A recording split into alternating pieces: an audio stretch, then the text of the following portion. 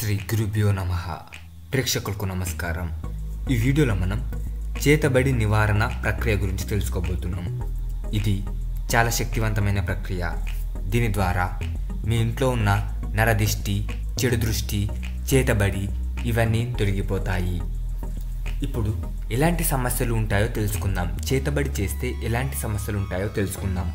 ఇంట్లో గొడవలు కావడం మన వాళ్ళు అనుకునేవారే మనకు మోసం చేయడం అలాగే ఇంట్లో అనుకోని పరిస్థితులు ఎదురు కావడం లేదా ఇంట్లో ఉన్నట్లుండి అందరికీ లేదా పిల్లలకు ఆరోగ్యం క్షీణించడం అనుకున్న పనులు కాకపోవడం ఒకేసారి ఎక్కువగా నష్టాలు కావడం ఇలాంటి చాలా అపశకనాలు జరుగుతూ ఉంటాయి. ఇలాంటివి జరిగితే తప్పకుండా చెడు ప్రయోగం జరిగినట్టే. వీటి అన్నిటినీ పక్కకు దొరే ఒక అద్భుతమైన శక్తివంతమైన ప్రక్రియ మీకు చెప్పబోతున్నాను.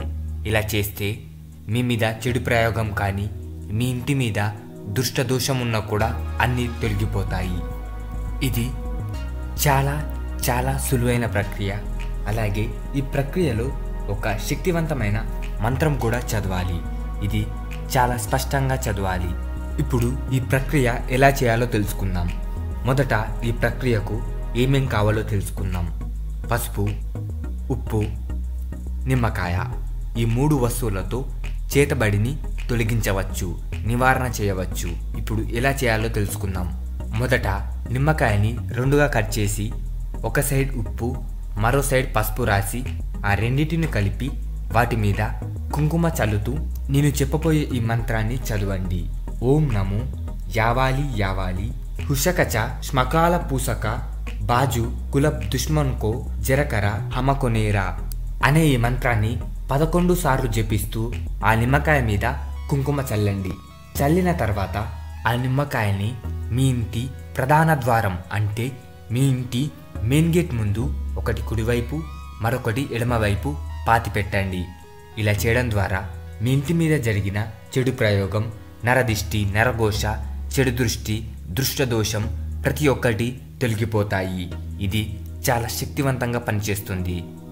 ఈ వీడియో మీకు నచ్చినట్లయితే లైక్ చేయండి. అలాగే మా ఛానల్కి సబ్స్క్రైబ్ చేయడం మర్చిపోకండి.